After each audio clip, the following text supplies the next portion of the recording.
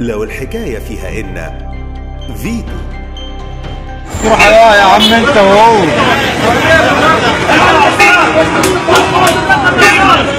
وهو هتموتوا ولا هتعملوا حاجه